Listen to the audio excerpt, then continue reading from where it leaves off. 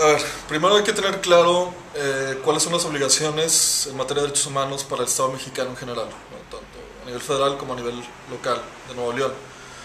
Hay dos obligaciones principales, una es la obligación de respeto y la otra es la obligación de garantía, derivadas de los tratados internacionales, principalmente la Convención eh, Americana sobre Derechos Humanos, que establece que los estados se comprometerán a respetar los derechos humanos, lo que significa una obligación de no hacer, esto es, no voy a violar los derechos humanos de manera directa, y la otra es la obligación de garantía, que se refiere a establecer un marco jurídico que, que garantice el goce y disfrute de los derechos humanos. Entonces, en ese sentido, a partir de 1994, ya en, específico en el tema de, desaparición forzada, en 1994, a través de la eh, Convención Interamericana sobre Desaparición Forzada, en el marco de la OEA, Organización de Estados Americanos, se crea la obligación para tipificar la desaparición forzada como un delito autónomo en los códigos penales. Entonces, punto número uno, la obligación de tipificar la desaparición forzada surge al menos en 1994. En el 2006 se reafirma esta obligación a nivel de eh, la ONU, la Organización de Naciones Unidas, que establece básicamente la misma obligación tipificar el delito de desaparición forzada en los códigos penales de, manera autónoma.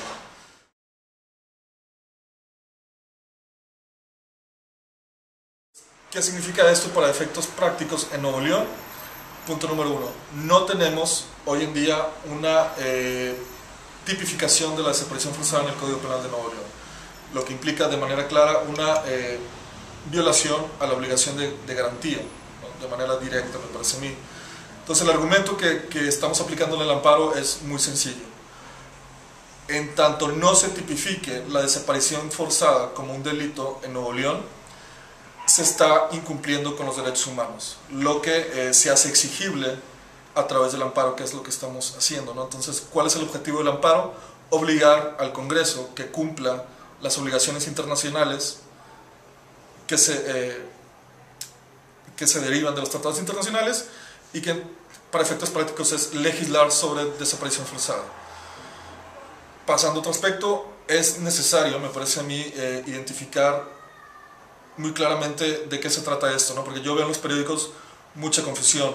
Hubo recientemente eh, publicaciones en el sentido de decir, es que ya hay un delito de secuestro, hay privación ilegal de la libertad, etc. ¿no? Y eso dicho por abogados de algunas asociaciones lo que me parece a mí es que no se está tomando en cuenta que hay, como ya lo mencioné, una obligación internacional de tipificar la desaparición forzada, que tiene una eh, definición propia que eh, difiere un poquito de la, del secuestro, por ejemplo, de la privación ilegal de la libertad.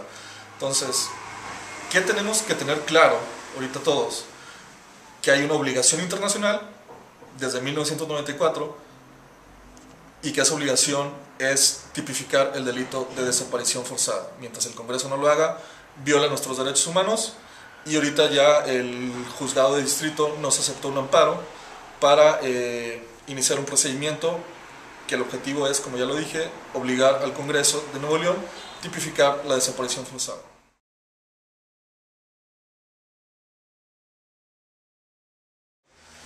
Este, no nos dieron la razón. Ellos nos dijeron, hay una obligación, pero la obligación no es de Nuevo León, sino la obligación es a nivel federal. Por tanto, no te puedo hacer nada, no puedo iniciar un procedimiento de queja y ni puedo recomendar al gobierno local que legisle eso porque es una obligación de la federación y no de la entidad federativa. Esto en términos de derecho internacional es un absurdo, porque la obligación internacional es del Estado mexicano en general. Nuevo León forma parte del Estado mexicano y si Nuevo León no cumple las obligaciones del Estado mexicano, en general hay una irresponsabilidad, esto es, hay un eh, incumplimiento de esa obligación internacional cometida por Nuevo León. Realmente es una lástima que tengamos que llegar hasta el amparo, pero hay que utilizar todas las vías legales que, tenemos para eh, garantizar el respeto a los derechos humanos. Eh, nuestra página de internet es www.derechoshumanosmexico.org